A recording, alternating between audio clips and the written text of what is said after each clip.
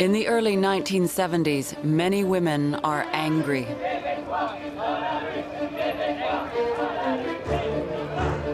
They will no longer be patronized or put off. I have the same brain uh, capacity as you have. Just because I have to, by nature, have the child, doesn't mean that that makes me a good person to be in the home with that child. I will not stay in the home just because a man says that I should. Indian woman has been the workhorse, the doormat, and the baby machine. A royal commission on the status of women channels that anger. Journalist Doris Anderson notes the commission is a wake-up call for a lot of people. People thought it was ridiculous. A royal commission on women? What's the matter? Women are fine. The papers reported on it as a joke, but people quickly began to realize that this wasn't a joke at all. Women of Canada answer with fire, the blood of their sisters. Thousands of women become activists. The decriminalization of abortion soon becomes one of their main issues. We will go ahead from here and we will speak for the women of Canada and we will do further actions until each woman has her right to control her own life. Therapeutic abortions are legal, but very few are performed. A woman has to make her case to a board of doctors, and the doctors are the ones who decide. Pressure to change this is growing. Marcy Cohen is a student at Simon Fraser University in British Columbia.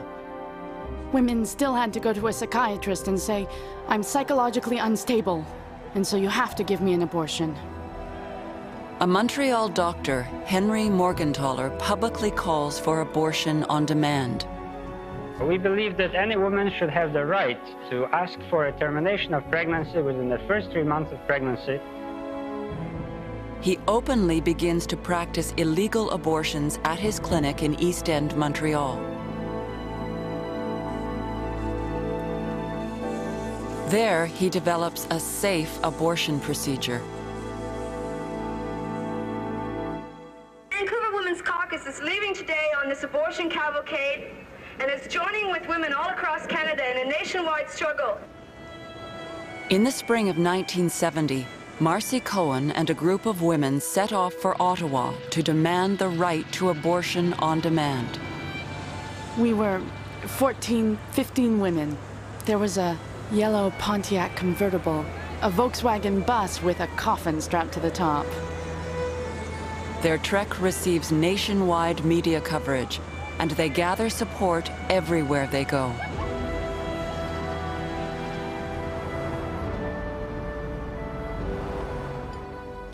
It was incredible. Across the country, waitresses in restaurants, for instance, would open up to us and tell us stories about what they've gone through. We picked up some women along the way, from Saskatoon and Winnipeg. Some women came from Toronto and Montreal.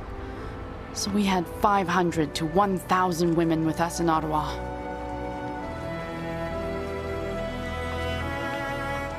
They have asked for a meeting with Prime Minister Trudeau, but have received no reply.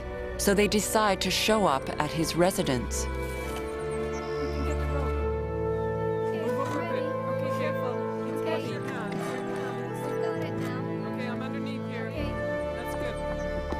We all started a spontaneous march on Sussex Drive.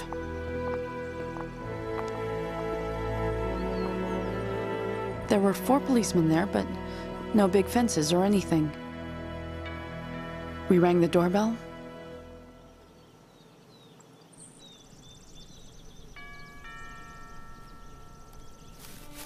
We put the coffin down in front of his door. Nothing happens. Three years later, Henry Morgentaler directly challenges the government, the police, and the courts. From 1968, I have performed 5,000 abortions in my clinic in Montreal in defiance of the abortion law, which I consider to be unjust, unfair, restrictive,